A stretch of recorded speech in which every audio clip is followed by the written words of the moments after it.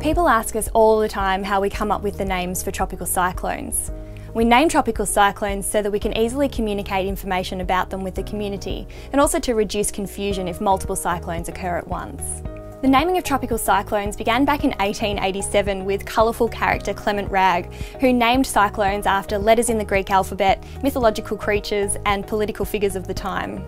After Wragge moved on from meteorology around 1902, the naming of storms and cyclones really fell away with only a handful of countries still naming severe weather events. It was about 60 years later that the Australian Bureau of Meteorology formalised the practice. And tropical cyclone Bessie, which formed off Western Australia on the 6th of January 1964, was the first Australian cyclone to be officially named by the Bureau.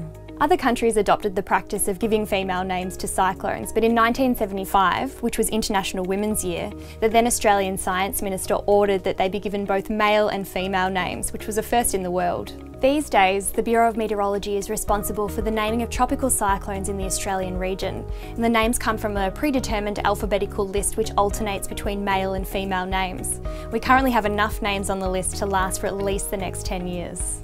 Names can be reused, but when a cyclone causes significant loss or damage, like Tracy in 1974 or Larry in 2006, we permanently retire the name.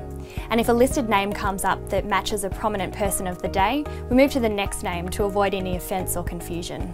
If a cyclone forms in another region, say near the Pacific Islands or in the Indian Ocean, and then moves into the Australian region, it keeps the original name that was given by that region's weather agency. An example of this is the 2011 cyclone Yasi, which originated near Fiji. The world is communicating differently these days, so the Bureau is using Twitter to help the community keep up to date with information on cyclones. When tweeting about a tropical cyclone, the Bureau will use the hashtag starting with hashtag cyclone and ending with the cyclone's official name. And all the most up-to-date cyclone information and warnings can be found on the Bureau's website at bom.gov.au forward slash cyclone.